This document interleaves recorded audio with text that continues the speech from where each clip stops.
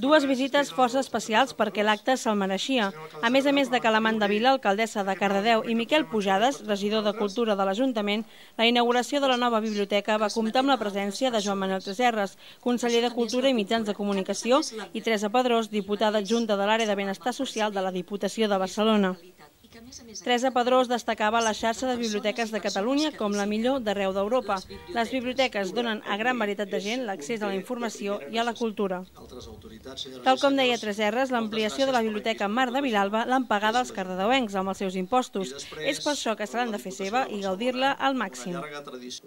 Calamanda Vila explicava que apostar per la biblioteca ha significat descartar altres projectes. Perquè hem hagut de fer renúncies per posar damunt la taula els diners que faltaven al projecte inicial inicial.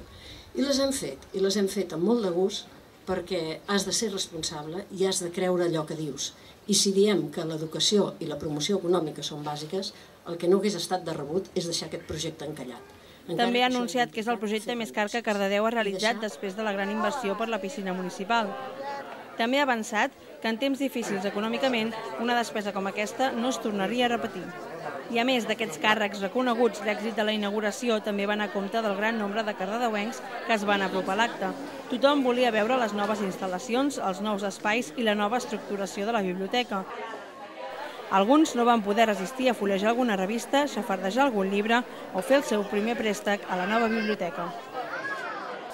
Si al matí tot eren corbates, trajos i personalitats polítiques, a la tarda la nova biblioteca Mar de Vilalba va quedar invadida per desenes de cardedeuencs curiosos. A la secció infantil els més petits remenaven els llibres de l'antiga biblioteca i els que han arribat a última hora. Acompanyats per pares i mares, van anar descobrint tots i cadascun dels racons del que serà, a partir d'ara, un dels espais més concorreguts.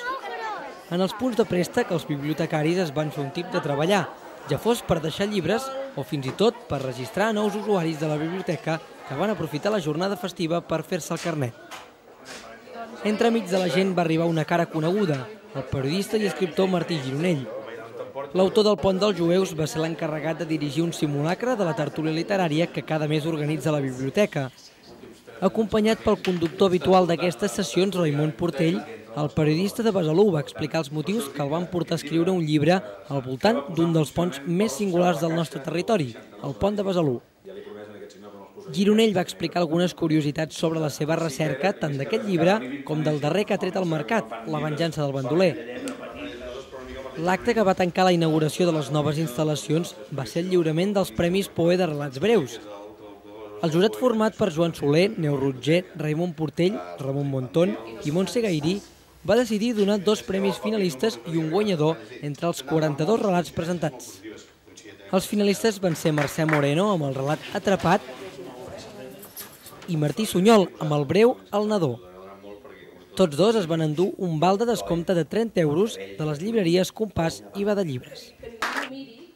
Finalment, el premi guanyador se'l va emportar al relat Prematur de Jordi Masó, que es va endur una entrada per tots els espectacles del CQK del mes de maig i un sopar al mosaic.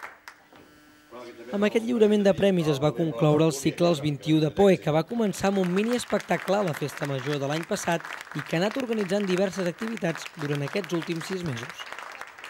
A més a doncs, que, havia, que hi havien entregut els castells, que el Josep Castell s'impliqués amb nosaltres en muntar tot